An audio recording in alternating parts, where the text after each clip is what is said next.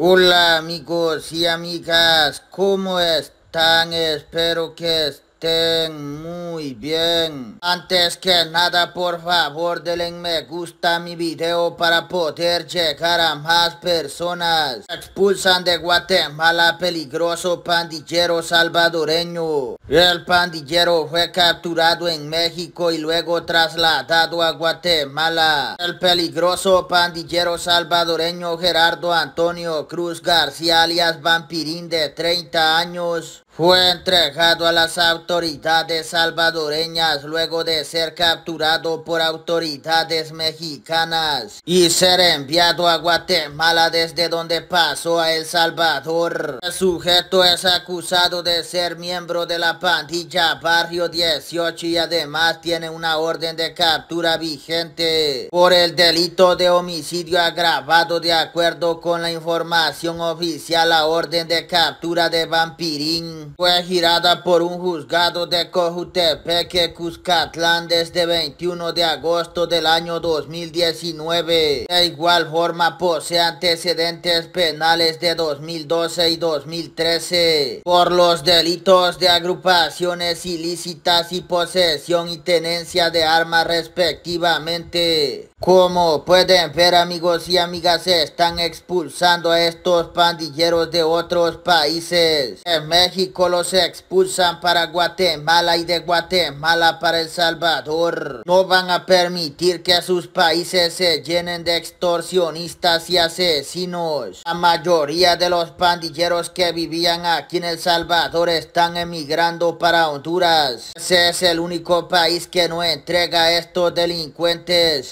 seguir con más información amigos y amigas. Capturan rápidamente a 5 MS que mataron a una persona en la madrugada. Todo aquel que no respete la vida de otro salvadoreño será perseguido por la justicia. Rápidamente fueron capturados cinco terroristas de la Mara Salvatrucha MC-13. En la madrugada de este martes acabaron con la vida de una persona informó el ministro de Justicia Gustavo Villatoro. Se trata de Edwin Ulises Centino Rivera alias Chechenga, Ernesto Alexander Rivera alias Seco, Jaime Antonio Artiaga Centino alias Tres Dedos, Eric Balmore Chávez Serrano alias Mañas y Walter Vladimir Rivera López alias Avatar tras el reporte de un homicidio ocurrido esta madrugada en Sonsonate. Nuestros equipos de inteligencia Investigación y Territorio de la Policía Nacional Civil han capturado a los cinco responsables, publicó en sus redes sociales el ministro de Justicia la noche del martes. Villatoro aseguró que estos sujetos deberán pagar en prisión por el delito de homicidio agravado y también por ser miembros activos de la MC-13. Todo aquel que no respete la vida de otro salvadoreño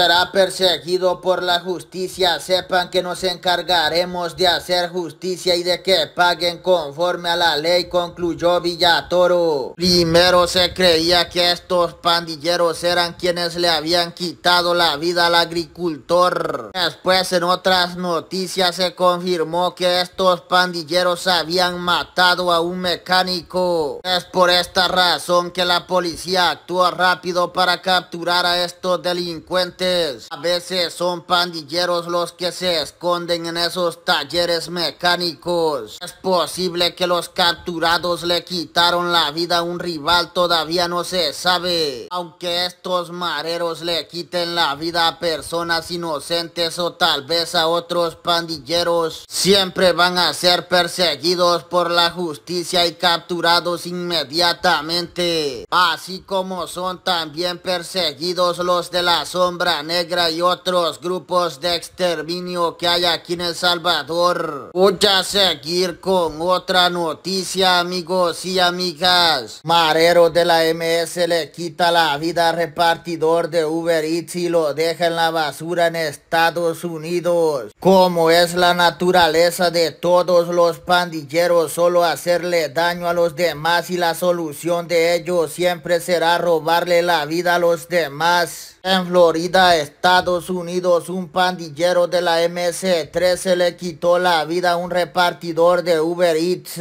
Hasta el momento se desconocen los motivos. Este criminal asesinó a la víctima y luego lo desmembró para echarlo en bolsas de basura y dejarlo tirado, pero las investigaciones de las autoridades dieron con el paradero de él. El criminal ha sido identificado como Oscar Solís Jr. Las autoridades de los Estados Unidos informaron que este criminal había salido de prisión el pasado enero, salió de la cárcel solo a hacer daño. Gran ejemplo para que todos los criminales que se encuentran en seco no vuelvan a salir nunca más de prisión. Es por esta razón que el presidente Nayib Bukele está recapturando a estos psicópatas aquí en El Salvador. No quiere que salgan a las calles a seguir matando salvadoreños como hizo este delincuente. Los pandilleros nunca entienden, son enfermos mentales aunque pasen años encerrados en la cárcel. Es por eso que a estos criminales les están negando la libertad aquí en El Salvador. A muchos los están acusando de agrupaciones ilícitas para que paguen todo lo que hicieron aquí en El Salvador. Muchos de estos asesinos han venido deportados de Estados Unidos donde los han acusado de homicidio agravado. Escucha seguir con más información de lo que está pasando en El Salvador amigos y amigas. FGR operativo deja la captura de 26 pandilleros del barrio 18 que operaban en la libertad. FGR operativo deja la captura de 26 pandilleros del barrio 18 que operaban en la libertad.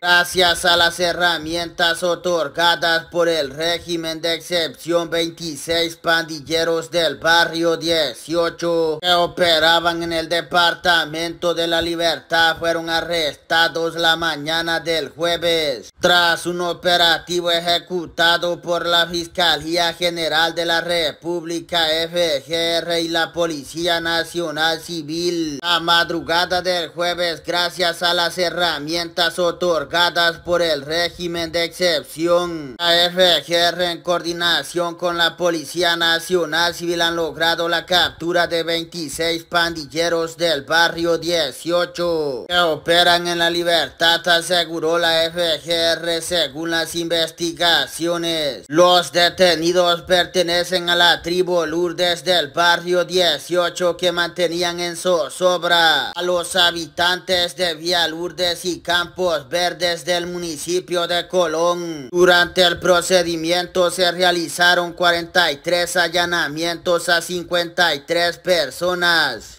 permitieron ubicar a estos terroristas, la fiscalía detalló que han incautado celulares, dinero en efectivo, motocicletas, documentación, entre otros. Las investigaciones contra esta estructura iniciaron este año gracias a múltiples denuncias de la ciudadanía. Todos serán procesados por agrupaciones ilícitas, expresó la fiscalía. Otra parva de pandillas que capturaron esta mañana aquí en El Salvador. La Fiscalía General de la República sigue girando las órdenes de captura. La Policía Nacional Civil se está encargando de capturar a todos estos mareros. Son órdenes del presidente Nayib Bukele de limpiar El Salvador de estos asesinos. La misión del gobierno de Bukele es acabar con todos estos psicópatas estén donde estén la Fiscalía General de la República ya no es la misma de antes, ya no hay mañosos ni corruptos. La Policía Nacional Civil y también en la Fuerza Armada ya no dejan infiltrarse a pandilleros. Así como están logrando hacer redadas de pandilleros porque nadie les avisa cuando van a llegar. Hasta aquí las noticias, muchas gracias por ver mi video amigos y amigas.